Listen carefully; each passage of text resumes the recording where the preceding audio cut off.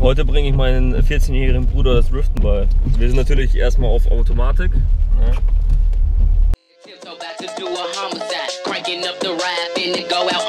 Side.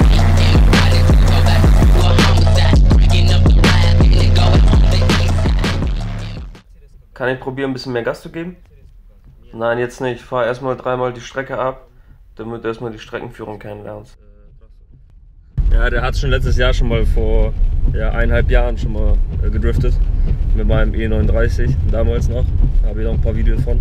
Aber das waren so mehr Donuts auf dem Parkplatz. Ne? Und das war halt mit äh, Schaltgetriebe. Deswegen ist glaube ich jetzt besser, weil jetzt geht es redlich um Driften. Ne?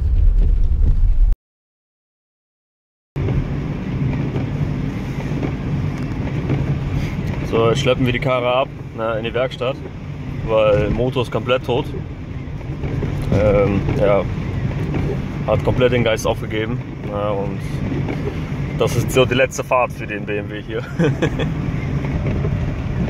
90 auf Schlepptau, Alter. In 3 Meter Abstand ist echt ein bisschen unangenehm. So, mein netter Bruder hat mein Auto kaputt gemacht. Und deswegen muss ich jetzt meinen Arsch hier durch diese verfickte Schneehölle bewegen. Ja, was ist denn? Warum hast du mein Auto kaputt gemacht?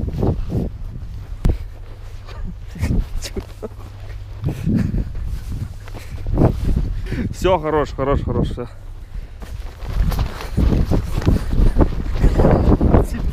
Да, почему ты сейчас... Sag mal, erklär mal, warum du als 14-Jähriger um halb zwölf nachts noch nicht zu Hause bist, obwohl du morgen zur Schule musst. Weil mein älterer Bruder anscheinend kein Auto fahren kann und sein Auto zerlegt hat. Ja, ja, genau, alles klar. Und wer war am Steuer? Du oder ich? Eigentlich war am Steuer Jan, aber ich habe versucht, die Lage nur zu retten und habe das Lenkrad gegriffen. Hey Junge, du bist so ein Laberkopf. Ich erzähle mal, wie es wirklich war. Das müsst ihr euch mal auf der Zunge zu gehen lassen. Er hat es geschafft, auf den See in einen Baum reinzufahren. Da gehört schon einiges zu, auf dem See einen Baum zu finden. Ey, das nächste Mal nehme ich dich mit in die Wüste. Ich glaube, du schaffst es da zu ertrinken.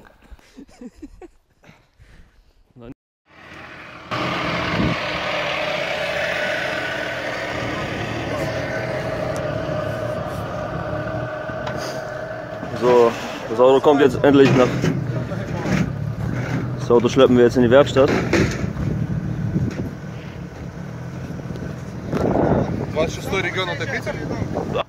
Yo, yo, eine kleine Nachinfo am Rande. Ähm, es handelt sich hier um zwei Fahrzeuge, zwei verschiedene Fahrzeuge. Den, den 1.6er mit dem, mit dem äh, Winterdrifter und den äh, Sommerdrifter. Äh, gerade vor mir direkt der Reif geplatzt, meine Fresse.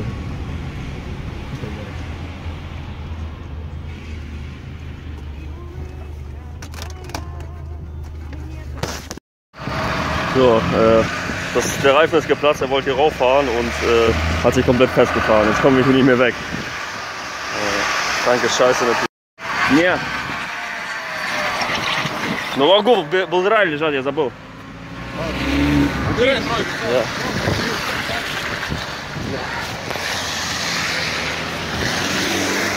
So, Äh, Auto mussten wir jetzt abladen, weil ein äh, Ersatzrad hatten die da keins dabei gehabt und äh, jetzt haben die kurz vor der Werkstatt natürlich so eine kleine Ansteigung und da da sind äh, äh, 100% Schwerer drin beim Auto und vor allen Dingen äh, Sommerreifen komme ich hier einfach nicht hoch. Ich habe von der ganz hinten versucht Anlauf zu nehmen, dass ich das hier überfahren kann, aber ja, zu früh gefreut. Jetzt wollen wir mit dem 7er das Ding hier hochziehen.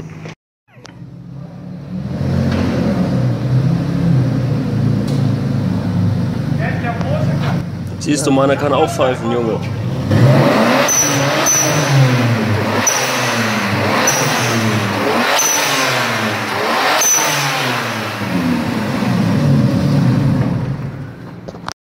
So, ab geht's nach Hause, ne? Leider ist in diesem Video nicht so viel Fahrspaß zu sehen, weil es liegt daran, dass es äh, Restmaterial war zwischen zwei Episoden. Und äh, ich dachte euch, damit ihr so eine Kette der Ereignisse habt, ist es vielleicht, vielleicht interessant, das zu sehen. In Deutschland angekommen haben wir eine kleine Trauerfeier mit meinem Kumpel Dima gemacht. Für den 1,6 Liter BMW M. Keine Ahnung, was ist das, 54? Ich weiß es nicht mal.